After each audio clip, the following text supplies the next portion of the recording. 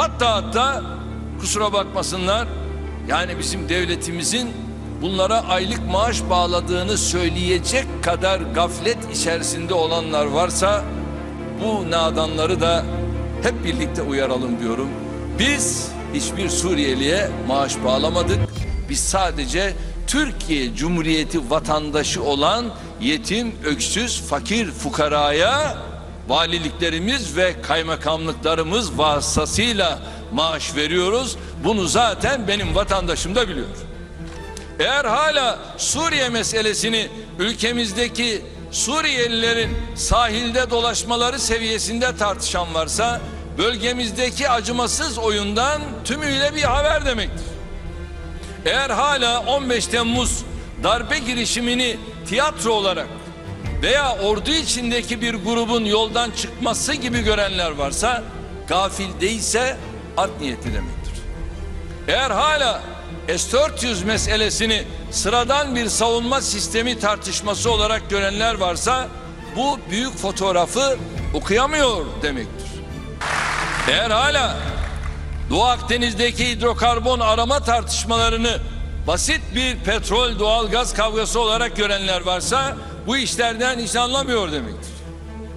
Değerli kardeşlerim biz Doğu Akdeniz'de bu sularda münasır ekonomik bölgelerde blokların içerisinde biz bize ayrılmış olan yerlerde aramalarımızı devam ettiriyoruz, devam ettireceğiz. Bizim dört tane gemimiz var. Bunlardan iki tanesi sondajdır, iki tanesi aramadır. Ve şu anda bunlar eskiden tabii biz kiralık filan falan arıyorduk, bulamıyorduk. Birçok sıkıntılarımız var. Ama şimdi bizim dört tane kendimize ait gemimiz var. Biz şimdi bunlarla yapıyoruz bu işi.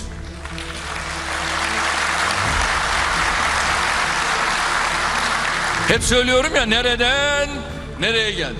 Artık bunlar bize ait gemiler. Bunlarla bunu yapıyoruz.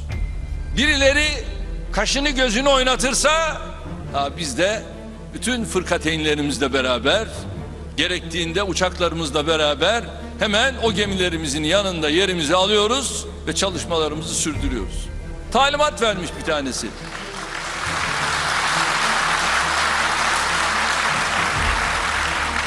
Talimat vermişler. Tutuklatacaklarmış o gemilerdeki personeli.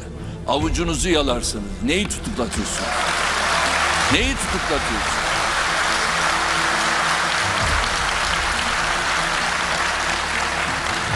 Bizim silahlı kuvvetlerimiz bütün buradaki imkanlarımızla biz de Doğu Kar Akdeniz'de şu anda zaten yerimizi almış vaziyetteyiz.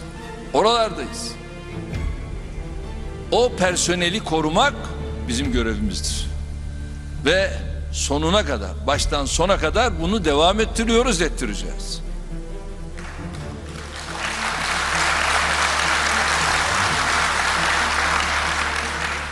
Şu anda bu çalışmalarımız devam ediyor. Aralıksız.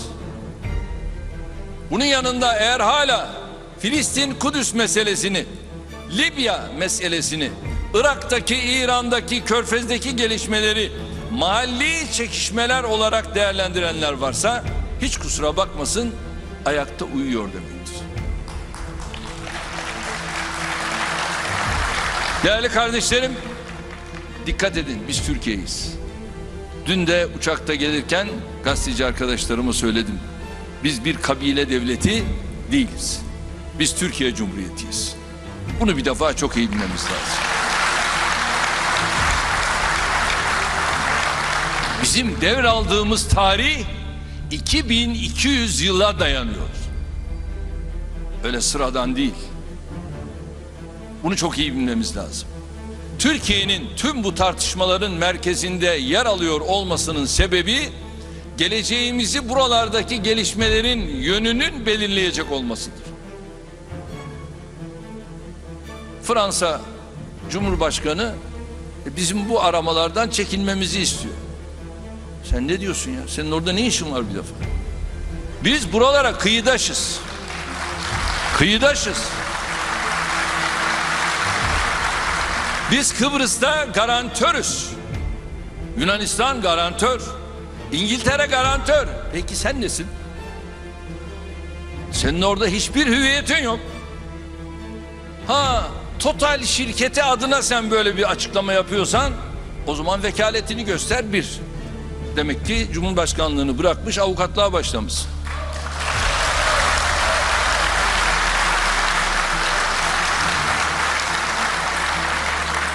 Ama Tayyip Erdoğan konuştuğu zaman garantör ülke olarak konuşuyor. Yunanistan konuşursa garantör ülke olarak konuşur. İngiltere konuşursa garantör ülke olarak konuşur. Sen ne olarak konuşuyorsun? Ve biz yükümüzün ağırlığını iyi biliyoruz. Ama sen bu yükün farkında değilsin. Biz ne siyasi, ne diplomatik, ne askeri, ne de toplumsal olarak gerilime, tartışmaya, kavgaya, acıya meraklı değiliz. Her şehit haberiyle yüreğimiz dağlanıyor. Ekonomide sıkıntıya düşen her firmamızın, her vatandaşımızın derdini kendi sırtımızda hissediyoruz. Kaybettiğimiz her toplumsal ve ekonomik değerimizle biz de hüzünleniyoruz. Bu ülkenin cumhurbaşkanı olarak geçmişte nice haleflerimizin yaptığı gibi gayet rahat bir programla hayatımızı sürdürmeyi biz de bilirdik. Bu ülkenin en kıdemli siyasetçisi olarak sahip olduğumuz desteği ve prestiji hiç riske atmadan iktidarın keyfini sürmeyi biz de bilirdik. Şayet böyle davransaydık şahsen belki rahat bir dönem geçirirdik ama ülkemizin ve milletimizin kayıplarını da seyrediyor olurduk. Biz kendi çıkarımız için olup bitenleri seyretmeyi değil, ülkemiz ve milletimiz için mücadele yolunu seçtik. Bu yola böyle çıktık.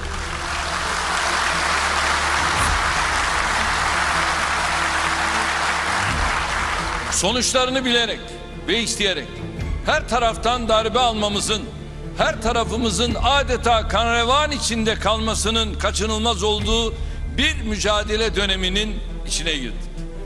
Çünkü tarihte öyle dönemler vardır ki ancak yaptığınız fedakarlıklar, verdiğiniz mücadeleler, çektiğiniz sıkıntılar, aldığınız riskler ölçüsünde kazanımlar elde edersiniz.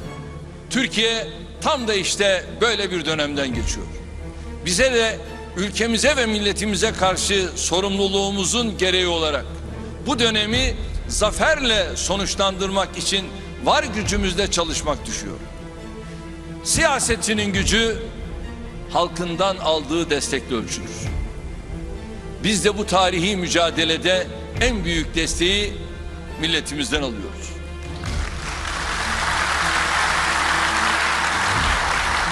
Örneğin 31 Mart seçimlerinde milletimiz İl Genel Meclisi'nde yaklaşık yüzde altmışlık, Büyükşehir Belediye Başkanlıklarında yüzde 52'lik, il belediye başkanlıklarında yüzde 55'lik bir oranla yanımızda olduğunu göstermiştir. Daha önce 24 Haziran seçimlerinde Cumhurbaşkanlığında yine yüzde 53'e yakın bir oy oranıyla milletimiz bizim yanımızda olduğunu ilan etmişti. Bazılarının dudak bükerek dinlediği bu neticeler Türk siyasi hayatında eşi benzeri olmayan bir başarının ifadesidir.